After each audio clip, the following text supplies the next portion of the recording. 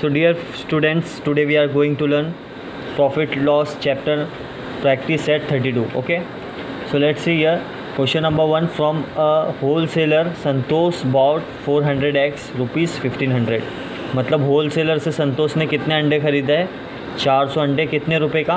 पंद्रह सौ के ओके और उसमें उसका जो है ट्रांसपोर्ट में कितने रुपये खर्च हुए? Spend three hundred on transport मतलब जो चार सौ अंडे ख़रीदा था पंद्रह सौ रुपये के। उसमें उसका गाड़ी भाड़ा लगा कितना? Three hundred rupees okay? और फिफ्टी एक्स जो है, क्या हो गए? Fell down and broke. उसमें से गिर कर टूट गए। तो 400 अंडे थे, उसमें से 50 अंडे टूट गए। मतलब गिर के टूटे तो लॉस हो गया। He sold the rest at rupees five each मतलब एक अंडे का कितना दाम है? प्राइस है five rupees so he did make profit और लॉस हाउ मच मतलब उसका प्रॉफिट होगा या लॉस होगा, वो हमें फाइंड फाइंड आउट करना है ओके तो आप लोगों को जैसे कि हम यहाँ पर देख रहे हैं कि यहाँ पर उसके अंडे कितने फुटे? पचास अंडे, चार सौ में से, ठीक है? तो actual cost price actual cost price कितना होगा actual cost price cost price plus ये जो कॉस्ट प्राइस है 400 एक्स का प्लस ट्रांसपोर्ट का प्राइस तो ट्रांसपोर्ट कितना खर्च हुआ? ओवर हेड तीन सौ रुपया. तो यहाँ पर डेटा पुट करते चार सौ एक्स के कितने थे? कॉस्ट प्राइस पंद्रह सौ रुपया. Plus overhead three hundred rupees transport के लगे. तो कितना हो गया? पंद्रह सौ, तीन सौ, अठारह सौ रुपीज़ देखिए फ्रेंड्स अभी जैसा कि आप कोई भी प्रोडक्ट खरीदते हो फॉर एग्ज़ाम्पल आपने मोबाइल ख़रीदा, कहाँ से? मनीष मार्केट या बम्बई से. तो दस हज़ार का फ़ोन है तो दस हज़ार का फ़ोन है, उसमें आपका गाड़ी भाड़ा कितना खर्च हुआ? दो सौ रुपया। तो आप अगर किसी को बेचोगे वो फ़ोन दस हज़ार का तो आप दस हज़ार का तो नहीं बेचोगे क्योंकि आपका भाड़ा भी खर्च हुआ है, दो सौ रुपया। तो आप कितने का बेचोगे? दस हज़ार दो सौ रुपये का। उसी तरह जब होल सेलर से संतोष अंडे खरीद रहा है, पंद्रह सौ रुपये का तो उसका भाड़ा कितना लग रहा है? तीन सौ का। तीन सौ भाड़ा लग रहा है तो वो कितने का बेचेगा? अगर बेचना है तो किसी को रिटेलर को अठारह सौ रुपये का ओके तो ये था एग्ज़ाम्पल अभी यहाँ पर पचास अंडे उसके गिर गए, गिर कर टूट गए। तो कितने अंडे में से गिरे? चार सौ अंडे में से पचास अंडे गिर गए। तो बचे कितने? साढ़े तीन सौ। समझे? कितना? सो एक्स। कितने एक्स बचे? चार सौ अंडे में से पचास अंडे गिरे तो साढ़े तीन सौ अंडे गिरे, बचे। जैसे कि चार सौ अंडे ख़रीदा था, उसमें से पचास अंडे गिर गए। तो कितने बचे? साढ़े तीन सौ, ओके? तो selling price selling price of each eggs देखिए selling price of each egg selling price of each egg कितने का है? एक अंडे कितने का है? पाँच रुपीज़ कितने का है? पाँच रुपीज़ का। तो सेलिंग प्राइस ऑफ़ साढ़े तीन सौ अंडे का कितना होगा? अगर साढ़े तीन सौ अंडे का सेलिंग प्राइस एक अंडे का पाँच रुपये तो साढ़े तीन से का साढ़े तीन सौ अंडे का कितना होगा? Three fifty into five rupees है ना? तो अगर आप मल्टीप्लाई करोगे तो फाइव फाइव ज़ा twenty five carry two five three ज़ा फिफ्टीन प्लस टू सेवेंटीन और ज़ीरो का ज़ीरो समझे? अगर आप नहीं आ, इसमें ऐसा आपको अगर डिफ़िकल्ट लग रहा है तो क्या करिए?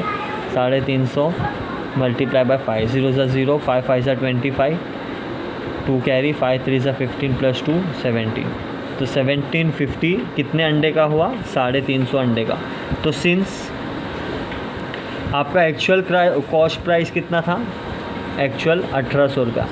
तो कॉस्ट प्राइस जो है, किससे ज़्यादा है? किससे? सेलिंग प्राइस से। है ना? तो हैंस इट इज़ लॉस क्यों लॉस हुआ? क्योंकि आपने ख़रीदा कितने का था? अठारह सौ। और आप बेच कितने में रहे हो? सत्रह सौ पचास रुपया। क्यों बेच रहे हो सत्रह सौ पचास? बिकॉज़ आपके पचास अंडे जो है, फूट गए। तो कितना बचा आपका? सत्रह सौ पचास। अठारह सौ में से सत्रह सौ पचास। तो सेलिंग प्राइस आपका ग्रेटर है कॉस्ट प्राइस आपका ज़्यादा है सेलिंग प्राइस से। जब कभी भी आपका कॉस्ट प्राइस ज़्यादा होता है सेलिंग प्राइस से तो आपका क्या होता है? लॉस क्यों? लॉस अगर आप फॉर एग्ज़ाम्पल ये मैं पेन ख़रीदा हूँ दस रुपये का, और मैं बेच रहा हूँ पाँच रुपये में तो मैंने ख़रीदा कितने में था? दस रुपये में। पर बेच कितने में रहा हूँ? पाँच रुपये में। तो मेरा लॉस कितना हुआ? लॉस कितना हुआ? पाँच रुपया मतलब कॉस्ट प्राइस मेरा कितना था? टेन रुपीज़ और सेलिंग प्राइस मेरा फाइव रुपीज़ था। तो उसी तरह कॉस्ट प्राइस उसका कितना था? अठारह सौ। जैसे कि कॉस्ट प्राइस अठारह सौ था और अठारह सौ ग्रेटर है किसके? सेवेंटीन फिफ्टी के। Therefore it is loss समझे? तो अगर अब अगर मुझे प्रॉफिट और लॉस निकालना है तो क्या आएगा? कॉस्ट प्राइस कितना? अठारह सौ माइनस सेवेंटीन फिफ्टी तो कितना बचा? फिफ्टी रुपीज़ तो लॉस कितने का हो रहा है आपका? लॉस हुआ C P minus S P तो C P minus S P कितना हुआ? फिफ्टी रुपीज़ का। तो hence the Santosh made loss of rupees fifty rupees okay समझ गया? फॉर एग्ज़ाम वापस से आप लोगों को एक बार बता देता हूँ। अब होलसेलर से संतोष ने 400 अंडे खरीदे थे पंद्रह सौ रुपये में। उसमें से उसने तीन सौ रुपया गाड़ी भाड़ा लगा। तो टोटल हो गया अठारह सौ उसका खर्च हुआ 400 अंडे खरीदने में। उसमें से 50 अंडे गिर कर टूट गए और पाँच पाँच रुपये का एक अंडा था। तो टोटल कॉस्ट प्राइस कितना था उसका चार सौ अंडे का? पंद्रह सौ और ओवर हेड मतलब ट्रांसपोर्ट चार्जेस तीन तीन तीन सौ। तो टोटल प्राइस हुआ अठारह सौ। तो अभी अठारह सौ का है तो पचास अंडे टूटने की वजह से वो कितना होगा हो गया? सत्रह सौ पचास। और पाँच रुपये का एक अंडा था तो साढ़े तीन सौ का मल्टीप्लाई बाई जो भी जितने भी नंबर ऑफ़ अंडेज बचे, कितने बचे? साढ़े तीन सौ। सोफा इससे मल्टीप्लाई किया सत्रह सौ पचास।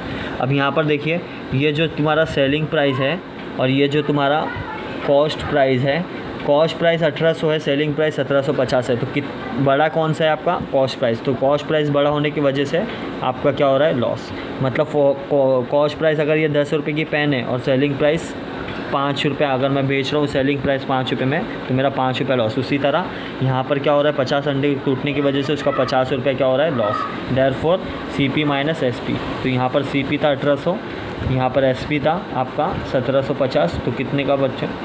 पचास रुपीज़ का आपका क्या हुआ है? लॉस ठीक है?